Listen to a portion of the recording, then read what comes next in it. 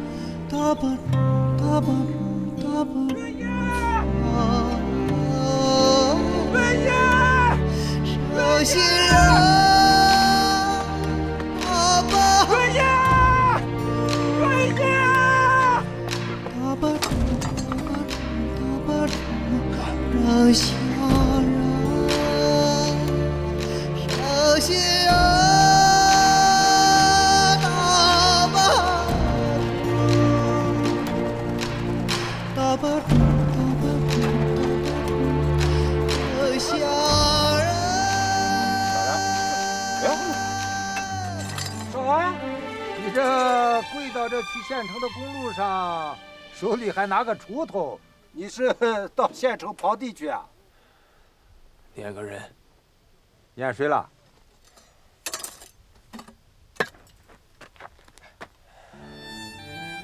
公共汽车里，他再也不会理我了。是不是对不起谁了？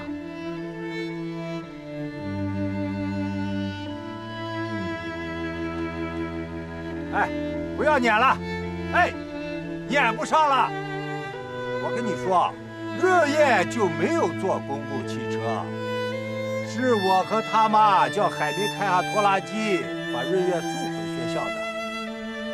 来，上拖拉机，快回吧。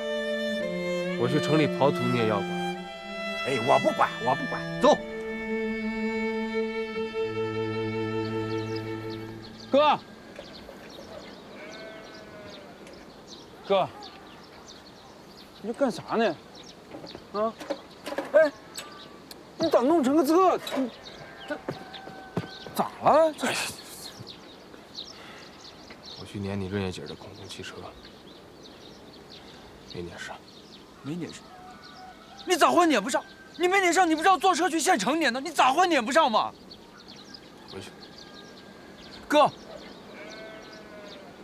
我这回来就是要跟你把话说好。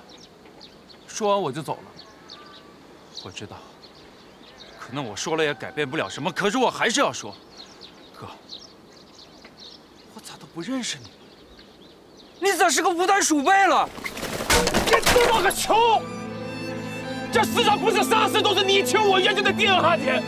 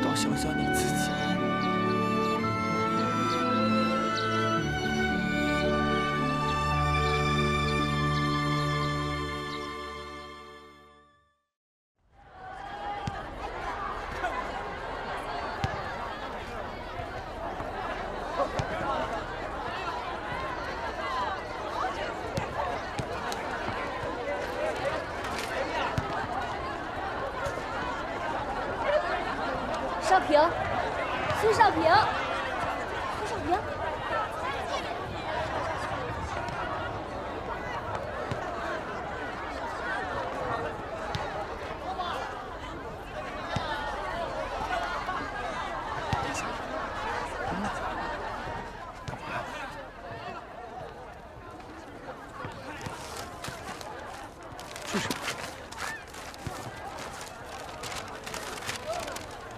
教育。来看看，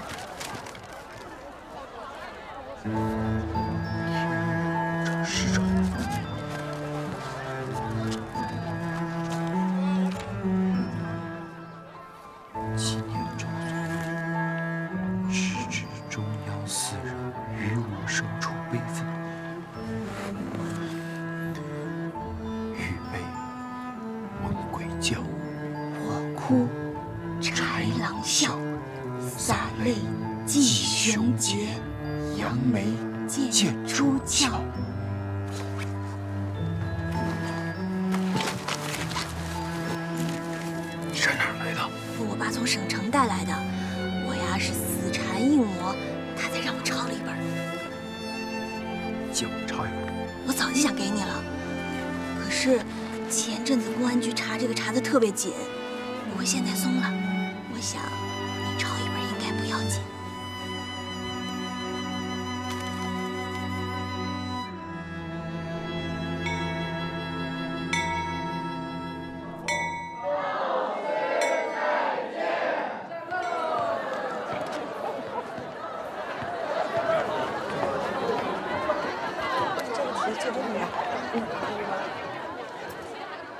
行小霞，咋了？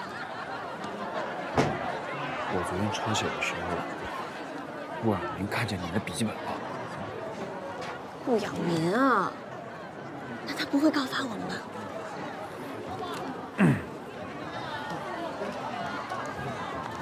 应该不会。他也想抄，能不能给他抄呢？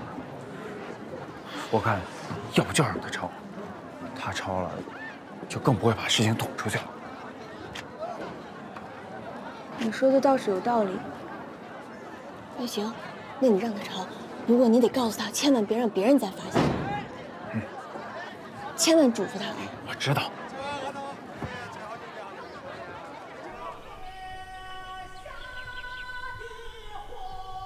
同学们，学校为了配合国家，啊，实行的秋季开学，让咱们暑假上课提前毕业，这有可能是咱们上的最后一次劳动课。学校联系了生产队，安排了这最后一次学农劳动。毕业之后，你们将投身到伟大的社会主义建设当中去。就把这一次学农劳动当做学期验收，咱们看看谁完成的最好，谁完成的最快，好不好？好，干活。一切都好像才刚刚开始，可却马上又要结束了。但是不论怎样，他还是为终于快熬到了高中毕业而感到高兴。从心理方面说，现在他已经有了强烈的独立意识。总之，可以这样说，孙少平现在已经初步有了他自己的生活观。尽管这一切的确才是刚刚开始。阳光普照大地，也照耀着我们每一个人的心。让我们沐浴着炙热的阳光，尽情的劳动。哎呀，班长，你就别抒情了。哎，我看天气预报说是下午要下雨，咱们赶紧趁着雨下来之前把活干完啊！那就让暴风雨来得更猛烈些吧。亚明，来喝点水。我不喝了。亚明，你每次说话讲的每句话都好像诗一样。刚才说的是高尔基的海燕吧？嗯。孙少平，你看那农民就是农民，说话也像农民。亚明，再来一句。天惊一声雷，地清绝其尾，顿时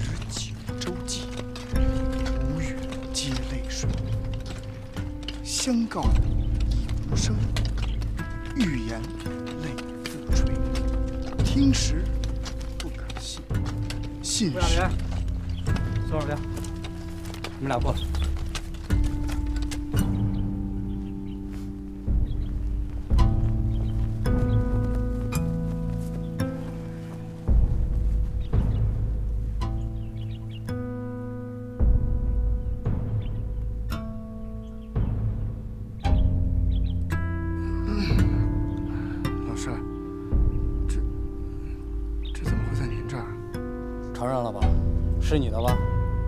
是我的，我哪敢不承认？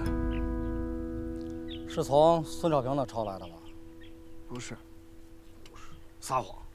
你又犯一个错误。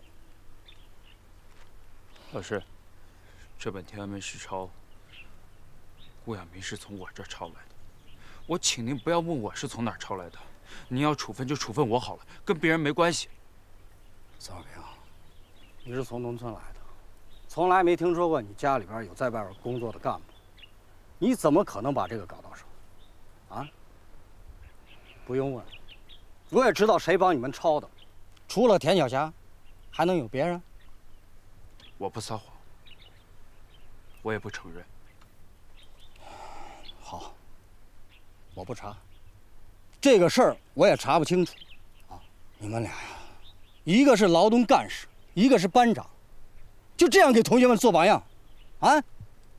马上就要毕业了，你们这简直就是自毁前程，真是糊涂。不知道现在查的这么严。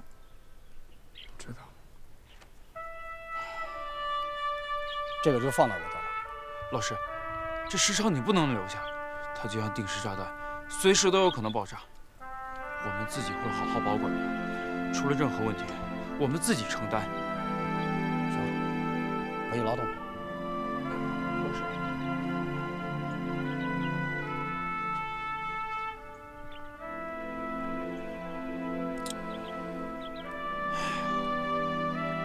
你说谁是告密者？咱俩当时说话的时候，郝红梅在身边。哎呦，那不可能是郝红梅，她就没离开过。一定是侯玉英，是他偷了我的小册子，然后交给了老师。你说，这老师万一把这小册子上交了，那咱们……我觉得班主任老师应该不会上交的。但愿吧。哎呀，这侯玉英，他他是想害死我们吗？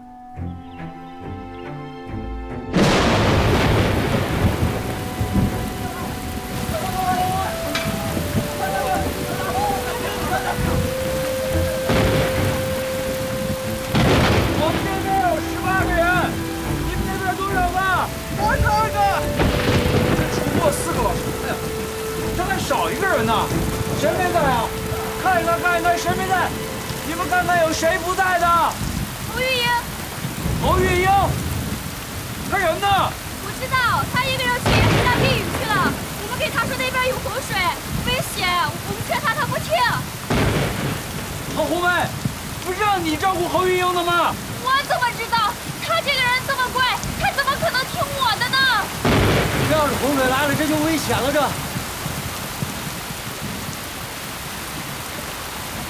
哎，这看见，你？老师，我把这红旗插在窑洞顶上，让侯云云看见，他看见了就知道咱们班同学在这儿，就会过来找咱们了。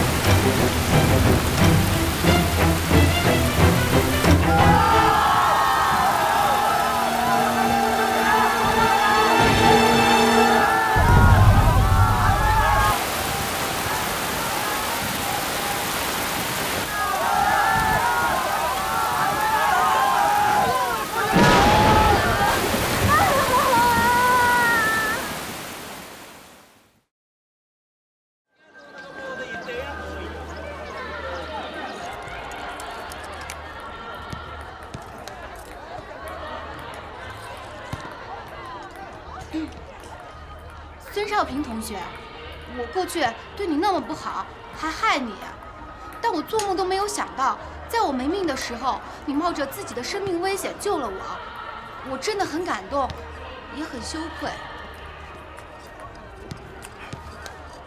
你说这话跟事先打过草稿似的。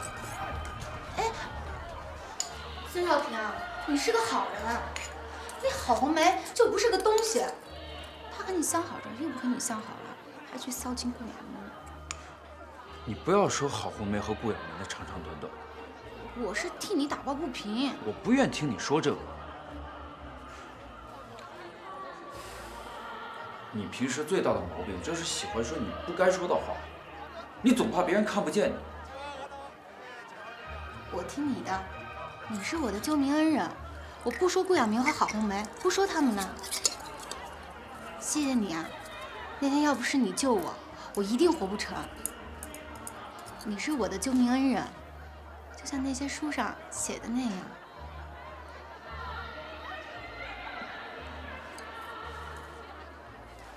那你为什么要救我，对我好呀？我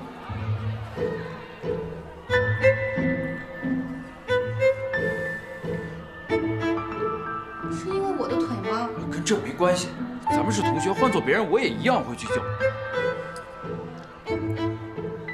眼下咱俩都好好的，没什么事情，这就可以了。以后不要再提了。哎哎，你确实是救了我，我爸让我一定请你去家里吃饭，好好谢谢你。不用了，我就拉你一把而已，你千万别把我看成什么恩人啊！哎孙少平，你说什么？让我到黄原工作？亚明，你没有跟我说笑吧？当然不是说笑了，我都想好了，我会让我爸妈想尽一切办法让你当黄原工作的。哎，亚明，你看，你看这个，什么？这个是可以烤着吃的。这东西怎么能烤着吃呢？多不卫生啊！快扔了吧！啊是挺不卫生的，我也没吃过，我只是听别人说 可以烤着吃。啊，刚才你说你爸妈可以帮我在黄原解决工作，你不是骗我开心吧？我是认真的。可是我家是地主成分。地主成分咋了？我爸妈还被打成过反动学术权威呢，挨过整，受过陷害。你放心，有我在。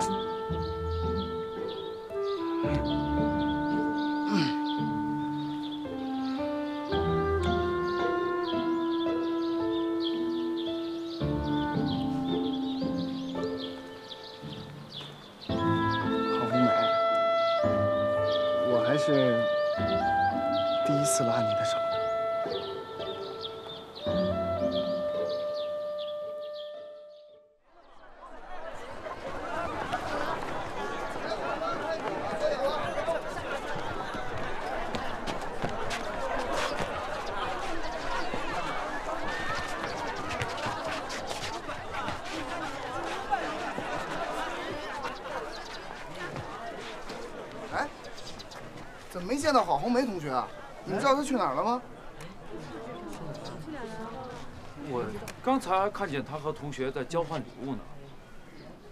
她常去县文化馆借书，会不会去还书了？哎，同学们、老师们，坐好了，我们准备拍照了啊！校长，这毕业照是不是少一个同学都不行？那当然了，我们班现在还少一个郝红梅同学，她没在。少一个？嗯，那怎么行呢？这是毕业留念，一个都不能少。对对对，哎，顾亚梅啊，你这赶紧组织同学们出去找，好，分头找，行吧？咱毕业照一下午再找吧，好吧？好，那同学们，快快快，大家分头找一下，分头去找，好吧？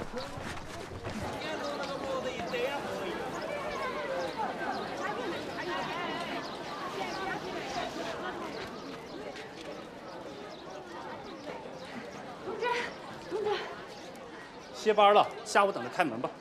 同志，我就买几块手帕，急着给同学当毕业纪念礼物呢。这他们送给我了，我也得回送他们，您说是不是？麻烦您一下，我会很快的。谢谢。快点挑。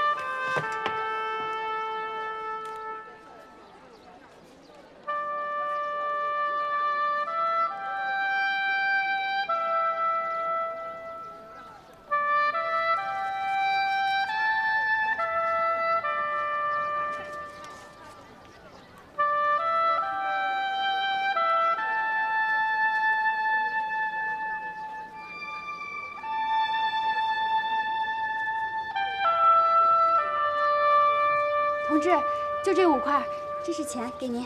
你放这吧。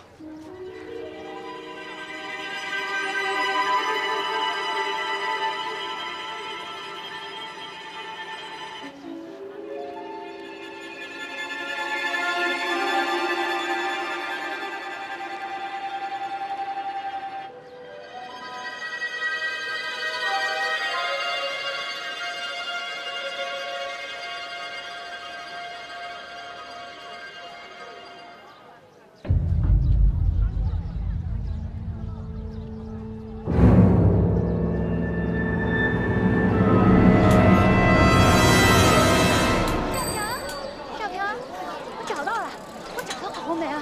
我在哪儿啊？那可做下丢脸的事儿了。啥丢脸？哎，啥事儿？你快说嘛！郝红梅在二门市上偷手帕，当场被售货员抓住。是。不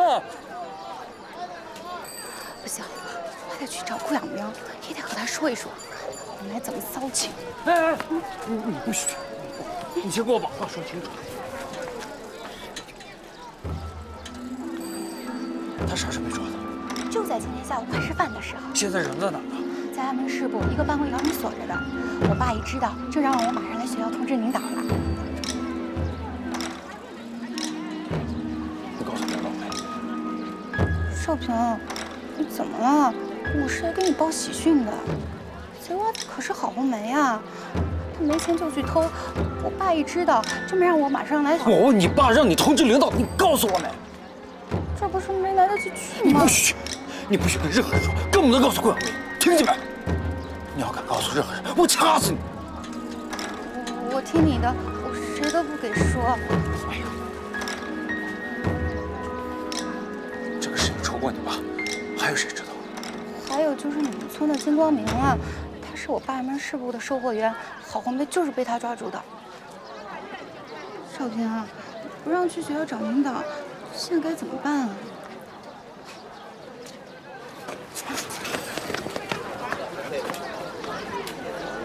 眼看就要高中毕业，他心里头充满了无限的快乐。更让他心花怒放的是，他和养民的关系也眼看就要成功了。而这个时候，郝红梅却像一只兔子被猎人关进了笼子，她惊慌绝望，她在心里头叫喊说：“一切都完了。”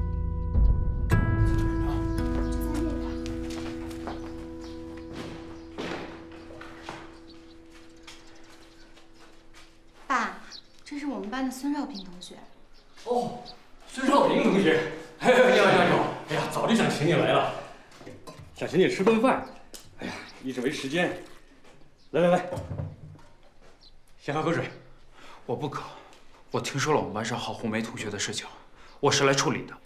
哦，你说这个，呃，我原以为这个女娃娃是我们玉英的好朋友，还好我先问了一下，呃，说是以前对不住过你，本来是跟你好，又跟班里的班长干部子弟了，这我才知道，这个女娃平时就不是个好东西，这就更不能轻饶她了。爸，你别说。哎呀，对这种贼，干脆就甭给他发毕业证书，还要在档案上给他记一笔。哦，对了，这事儿你们校领导知道吗？这个事情就不要通知领导了，不经过领导，你怎么处理啊？我来处理。你？侯叔叔，你先喝口水，我慢慢跟你说。不，你说，你想怎么处理啊？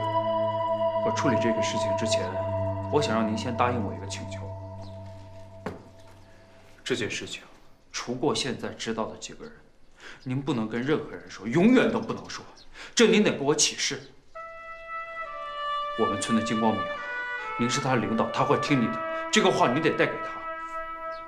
侯叔叔，你这样想，郝红梅是我和侯玉英的同班同学，她就是因为家里穷，买不起毕业礼物，一时糊涂才犯了这么一个错。可这并不说明她是个坏人。更何况你也应该相信，他本身就是个好同学，所以谁都不能伤害了。如果有人伤害了他，我一定会找伤害他的人算账的。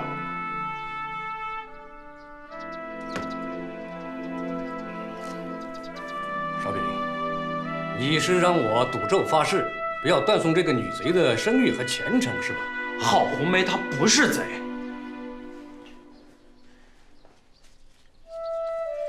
这个钱，请您转交给金光明，手绢让郝红梅拿走。记住，这手绢是他买的，不是他偷的。哎哎呀，这个这个钱怎么让你出呢？既然你和这个玉英是他的同学，这钱叔叔说了，这不是谁出钱的问题，这是郝红梅买手绢的钱。就这了。好好好，不是偷的，是买的。一会儿金光明来了，把门打开，让郝红梅走。Oh.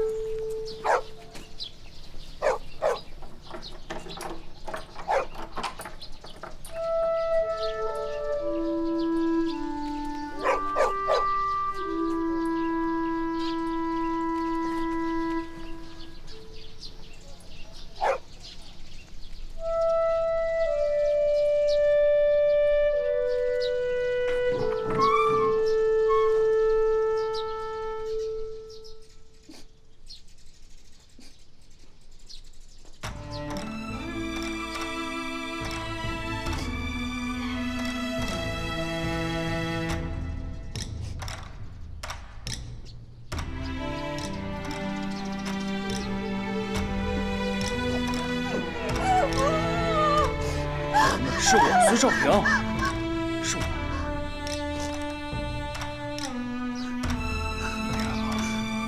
事情已经处理好，咱们走吧。你看，学校领导没来，没有任何人过来，侯主任他原谅你了。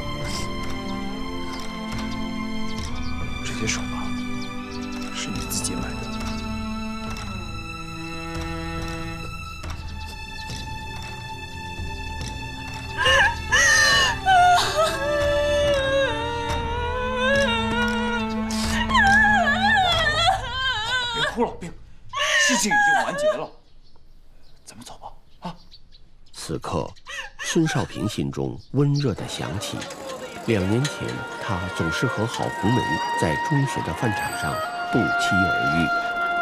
那个时候，两个穿戴破烂的乡下娃曾经多么难为情地躲避着众人的嘲笑，偷偷地取回自己那两个黑面膜。郝红梅，你先回学校吧，都等着你拍毕业照呢。咱俩就不一块走了，你先去，我很快就来。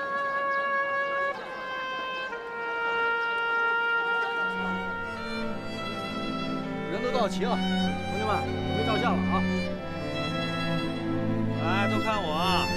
我喊一二三，大家都要笑啊！一、二、三，笑！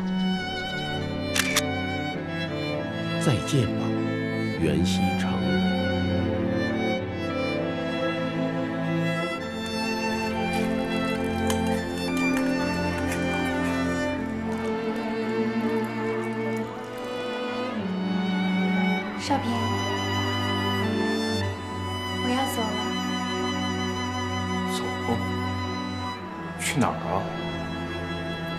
家，回农村的老家，然后就留在那儿。你不是和顾养民？我听说他们家帮你安排了工作。杨明，他都知道。你自己告诉他了？是侯玉英的父亲，他为了巴结顾建明老先生，把我在二门市犯下的浑事儿，全都告诉了他老人家。杨明他爷爷是黄原地区最有名的老中医，而且还崇尚诸子之家格言，哪能容得下像我这样一个偷鸡摸狗的人成为他的孙媳妇儿？他爷爷我也听说过。顾养民对我俩的感情判了死刑，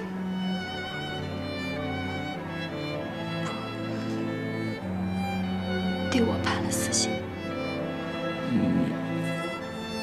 你们分手了？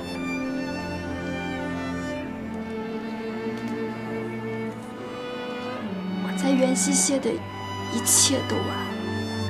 一个人哪怕是被汽车当场撞死，也比背着一个贼名活一辈子要强。这更何况我还是一个女的。这里我是待不下去。我走的时候，你能到长浦汽车站送送我吗？能。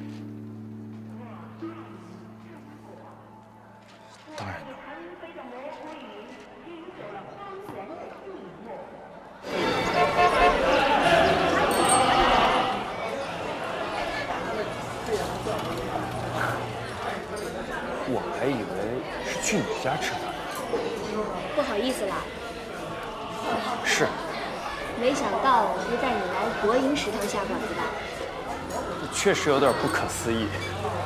分别前，总是要坐下来吃顿饭的。再说家里人多，这儿清静，好拉话，不至于让我们的分别显得那么难受。哎，你毕业之后打算做什么？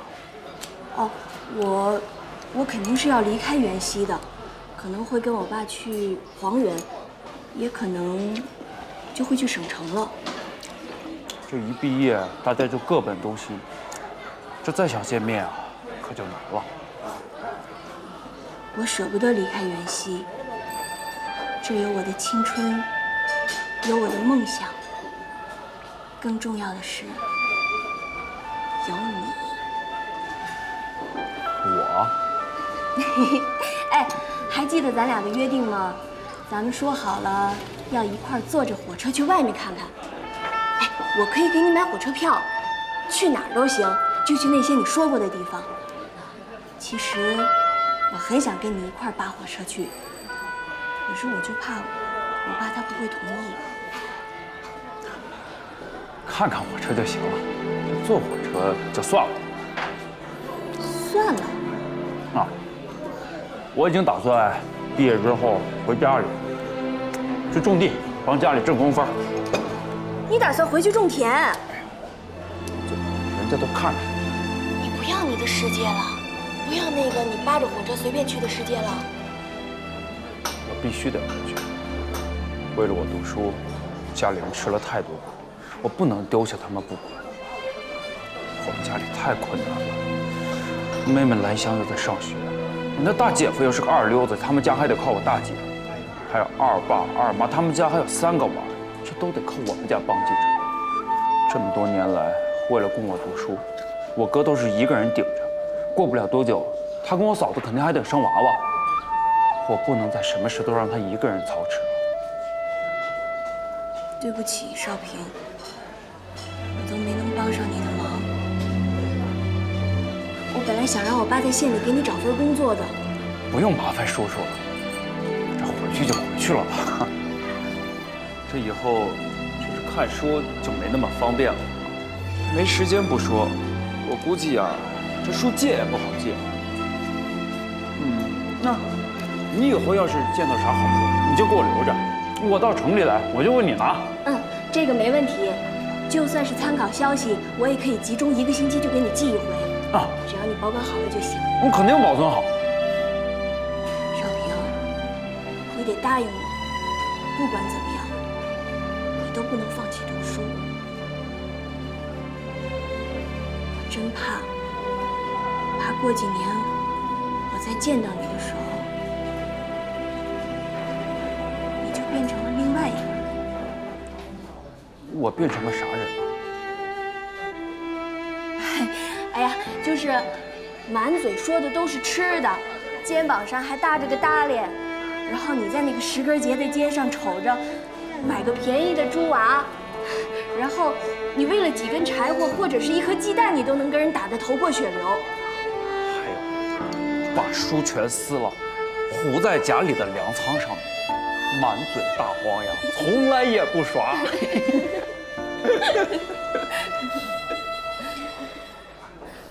放心吧，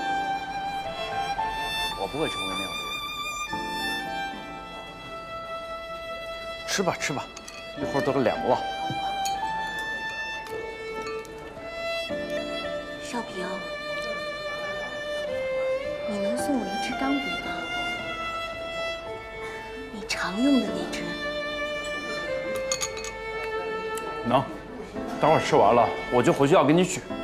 嗯我在收发室等你。嗯。你是宋少平吗？你同学给你的，他说他不等你了。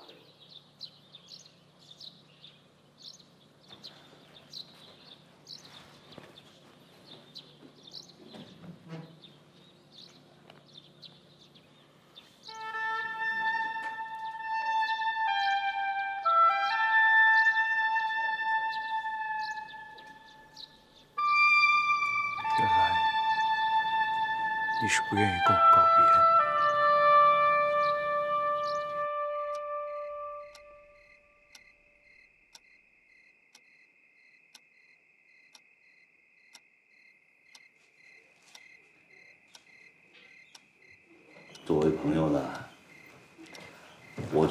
这封信啊，写的不错，很真诚，很热情。我想你的那个同学啊，孙少平，应该能看懂这封信。那作为父亲呢？作为父亲，我应该罚了你。你就不应该这么小介入情感的问题。老田，我是问你对这封信有什么修改意见？